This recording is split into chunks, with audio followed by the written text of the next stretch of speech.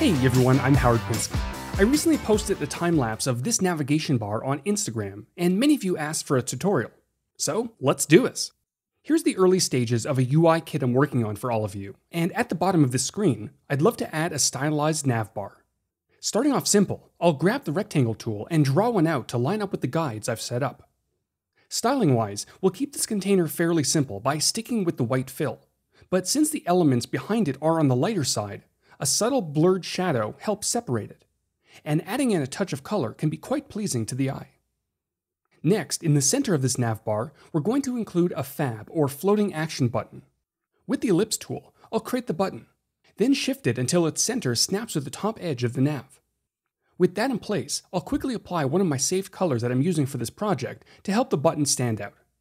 Now, to give this design a bit of style and allow the action button to truly float, we need to create a cutout.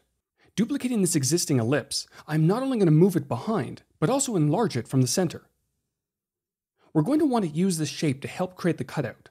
So selecting both the ellipse and the navbar, the subtract boolean option will knock out our hole. And while this looks okay, the sharp corners don't fit with the rest of the design. Since boolean objects are non-destructive, we can dive in to make changes, not just to the original rectangle, but also to the larger ellipse and double-clicking will give us access to its path. Here, we'll want to first shift the points on the side outwards, and to ensure they're even, we can click on each, then nudge two or three times with the Shift key held down. Obviously, we still have sharp corners, but with the points moved outwards, the handles can be adjusted to curve them out, and holding down Shift will snap them horizontally. One of the challenges of a design like this is making sure it's symmetrical. So, lining up the handles with guides or the edges of the action button will help get you there. Finally, the curve at the bottom is looking a touch off.